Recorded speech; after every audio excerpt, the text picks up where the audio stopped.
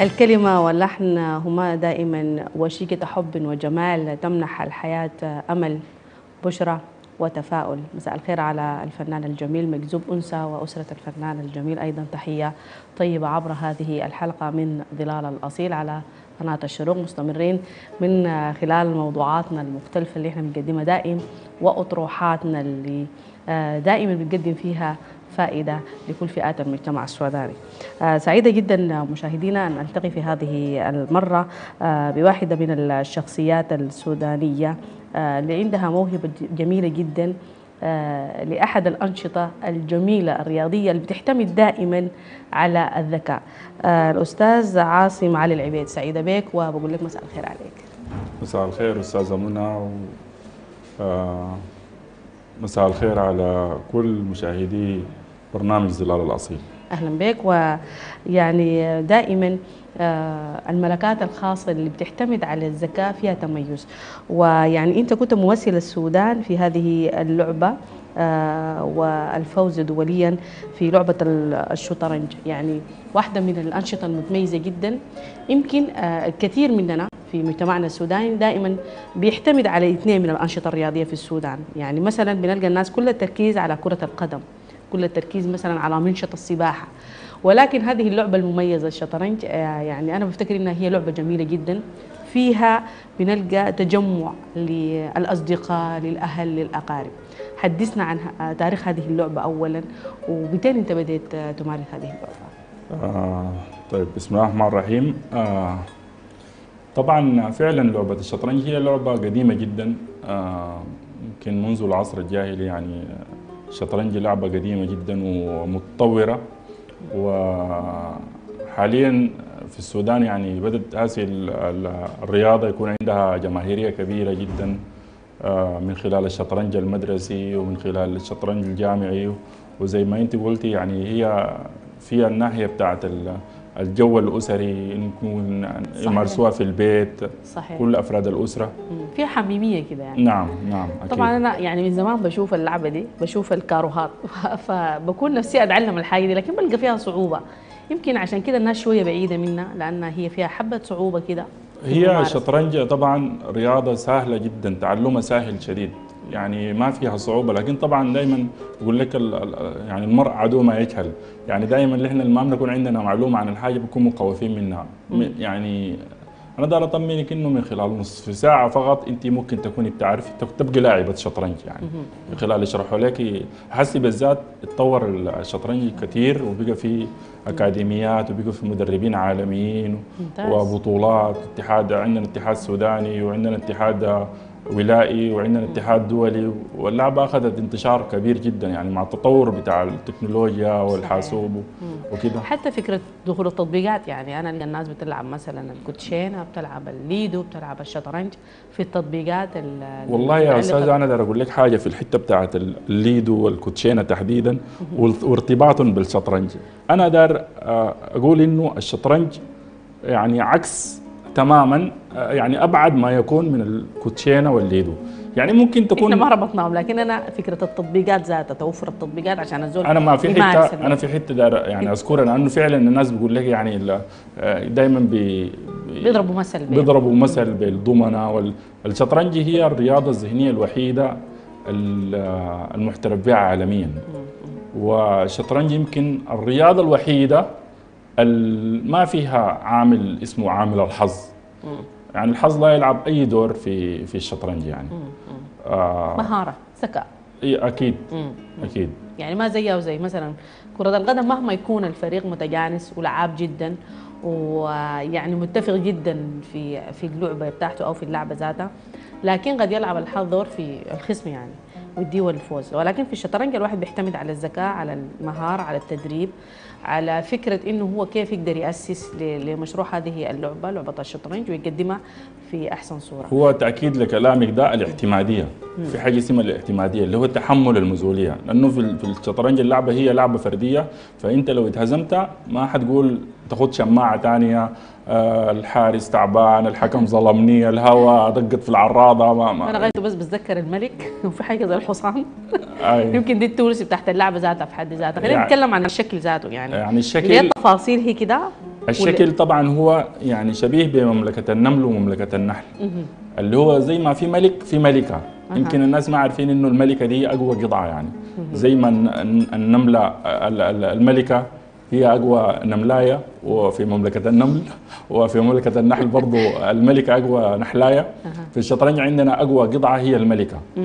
فاللي هو بيسموها في الاواسط الشعبية بالوزير أو ال minister وزير هو الملك أيوه. هو هو هي في الحقيقة التسمية العلمية لها queen ملكة. king. و queen. يلا زي ما في ملك وفي ملكة كمان الملك عنده رخ بنقول عليه رخ الملك وحصان الملك وفيل. الملك والملك وأيضا الملكة في رخ وحصان وفيل. يبقى في رخين رخ الملك ورخ الملكه حصانين حصان الملك وحصان الملكة وفيلين فيل الملك وفيل الملكة. ديل بيكونوا ثمانيه قطع. ده اللي حافظهم في نص ساعة كيف؟ آه ما هي صعب أنت قبل قلت في نص ساعة أنت يمكن تتعلمي. أنا حافظهم كيف في نص ساعة؟ لا بيتحفظوا ما ما يعني بال demo board بيتحفظوا يعني. لوحة يعني صعب إنه تحفظيهم هسه وأنا بقولهم كده سهل لكن لما يكون في اللوحة بتاعت قاعدين في التدريب اللوحة أيوه. أيوه المسألة بتكون لك سهلة شديده مع انه اشكالهم ذاتها مميزة وواضحة يعني. أنا داير أعرف إذا في فريقين من الشطرنج. عدد ال- العدد كم يعني؟ يعني هو العدد طبعا كم؟ الشطرنج آه بتتلعب ما بين الأبيض وما بين الأسود. الأبيض 16 اللي هو 8 قطع زي ما ذكرت رخين وحصانين وفيلين وملك ووزير. آه ملك وملكة اللي هو ال- بالإضافة لثمانية جنود. بكونوا 16 ده الأبيض. والأسود برضه 16 قطعة وهي لكن ما في احتياطي. صح؟ احتياطي ما في. لا آه في حاجة ما ما في احتياطي لكن في حاجة اسمها الترقية. في بيدق لما يصل الصف الثامن ممكن يتحول لملك عديل أنا دائما بسمع كيش ملك. آه كش ملك ده طبعا هي آه، آه، هي تكتب ولا ولا تنطق. يعني انت لو قلت لي كش ملك أنا ممكن أنادي الحكم. يعني فممنوع يعني التحدث مع مع المنافس عشان ما ما أوتره بالذات لما تقول لك ملك دي ممكن هي هي لعبة. صامتة 100% بالضبط كده. لعبة تعتمد على ال- الصمت. الصمت والغدر لأنه هو بيكون بيفكر يعني. طبعا مرتبطة ب بزمن معين ما ما ما مفتوحه ساي مرتبطة بزمن معين. وبتعلم حاجات كثيرة صراحة. الشطرنج بتعلم الذكاء الثقه بالنفس. السرعة. آه، سرعة اتخاذ القرار. التخطيط الاستراتيجي. يا سلام. آه، مهارة حل المشاكل. ودي أهم مهارة المفروض الإنسان يتعلمها في العصر الحديث. يمكن مؤخرا يعني أنا بشوف في آه، في المدارس يعني في المسابقات بتاعة اليوسيماس اللي هي فيها تنمية للقدرات والذكاء وكده ليه ممكن أنا أدخل النوع ده مثلا من الأنشطة في المدرسة؟ لأنه هو- أنا بفتكر دائما إنه طلاب الأساس هم خام لاستيعاب أي معلومة ممكن يكون فيها ذكاء ممكن يعني فيها مهارة. يمكن الشطرنج إضافة لإنه غير ال- المساله بتاعت ال calculation اللي بتشتغل عليها ال- ال- اليوسيماس هو بيشتغل على الجانبين الجانب الأيمن آه من من المخ والجانب الأيسر. ال- الجانب المسؤول من الحسابات والجانب الأيسر المسؤول من الخيال والإبداع. فالشطرنج زي ما قلت لك إحنا عندنا أكاديمية اسمها أكاديمية نيو رايزو للشطرنج. آه أنا المدير الفني للأكاديمية دي. عندنا حاجة اسمها مبادرة الشطرنج المدرسي. يا سلام. وشغالين على المدارس و... وحسي- تجاوب حسي يعني أكيد في تجاوب؟ كبير جدا يعني. ما ما مشينا يمكن لمدرسه أي مدرسة إحنا نمشي لها. آه ونعرض عليها ال- البرنامج بتاعنا. إلا كان يعني كانوا مرحبين جدا يعني. يمكن أنها زي ما قلتي آه عارفين هم أهمية الشطرنج يعني. حتى أساتذة الرياضيات بالذات كانوا بيقولوا تعالوا شيلوا حصة من جدولنا في كل. كلاس على أساس إنه تدرسوا الناس الشطرنج. على فكرة يعني هي ممكن تجوب حتى المؤسسات. يعني أنا بفتكر إنه دائما اليوم اليوم الدوام طويل. يعني أنا إذا بدي الموظفين مثلا خليك بعيدا عن المدارس نص نعم. ساعة مثلا يلعبوا آه، أي نوع من أنواع ال- ال- الأنشطة الرياضية اللي فيها تسلية مثلا تنس شطرنج تفاصيل زي ده أنا بفتكر إنه الواحد خصوصا مثلا في مجتمع الإعلام طبعا دائما بدعم مجتمعي فالزول بي هو بيتحفز بيجي بطاقة جديدة وبأفكار جديدة بدل ما يكون في يوم طويل يعني. سؤال ده ده كلام جميل. اول حاجة أشكرك عليه. تسلم. ونعتبر دي مبادرة منك أنت ذاته.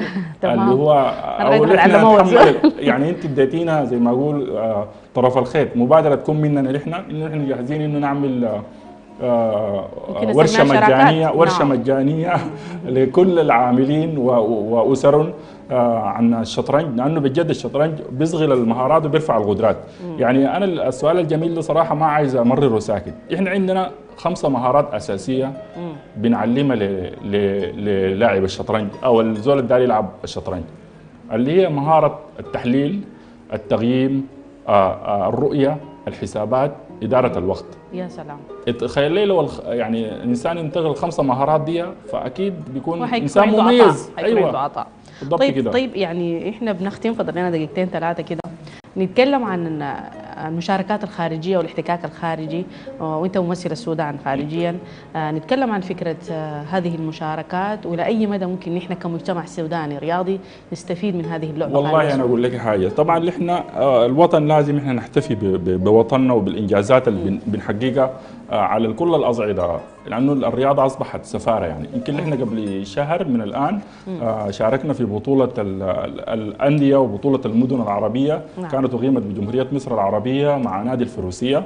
والحمد لله تمكنا من إحراز آه، 12 ميدالية آه، وأحرزنا المركز الثاني على مستوى الوطن العربي كله. وأدينا مباريات كبيرة جدا جدا. ويعني آه، يمكن دي أول إطلالة. الإضافة شنو يعني؟ اللي لقاها المجتمع الرياضي في لعبه الشطرنج يعني المجتمع السوداني من من المشاركه دي. الإنجاز في حد ذاته يعني أنا ما عايز أقول إنه بعض المناشط ما قاعد تنجز يعني لكن ما يعني 12 ميدالية في بطولة واحدة أنا بتخيل لي إنه مفترض يعني الحاجة دي تلقى تلقى يعني تسليط من الضوء أكثر يعني. يعني أنا هنا مناشدة لكل الشركات القطاع ال- الخاص والقطاع العام ومؤسسات الدولة إنه الشطرنج الاهتمام بالشطرنج لأنه الشطرنج يوجد أبطال آه، يعني يحرزون إنجازات على مستوى عالمي. آه، يمكن إحنا يعني حتى ممكن يكون على فكرة فيها يعني إضافة دخل اقتصادي للسودان من المشاركات دي مما يحملون من جوائز مثلا حياة قيمة يعني, وجود اسم السودان يعني ذاته. أقدر أقول لك حسي مثلا آه، د- دولة قطر الشقيقة أنا من هنا بحييهم يعني الاستضافة اللي عملوها دي يعني بهرت العالم كله. صحيح. إحنا زي ما قلت لك الرياضة هي سفارة حقيقية. نعم. فلما وجود علم السودان وهو يعني من المتوجين ويحرز مركز متقدم وسط ال- الو- الوطن العربي انت خلي دي ذاتها هي في حد ذاتها تستاهل إنه إحنا نحتفي يعني لأنه نحن لما احتفينا بحاجاتنا ما احتفاء بالذات ده أهم حاجة يعني لازم نحتفي بحاجاتنا. صحيح. ونسلط الضوء عليها يعني ومن هنا نرعى الموهوبين يعني والمبدعين اللي بيقدروا يحققوا إنجازات للوطن يعني. صحيح صحيح. إحنا دائما بنقول الجسم السليم في العقل السليم. نعم. بغض النظر عن نوع الرياضه اللي أنا بمارسها لابد من إنه أنا أهتم بها كشخص عشان أنفع نفسي بعد كده كمجتمع. ننفع السودان الحبيب. ومن ثم من آه، رسالة ممكن تكون موجهة حتى للدولة السيادية الموجودة الآن في إنه كيف ترعى وتهتم بكل الأنشطة الرياضية الموجودة في السودان وإذا خصصنا مساحة للعبة الشطرنج. شكرا لك الأستاذ عاصم علي العبيد شكرا نورتنا. شكرا لك. الله يديك العافية. شكرا جميلا. وكل مشاهدينا اللي بيتواصلوا معنا عبر هذه الظلال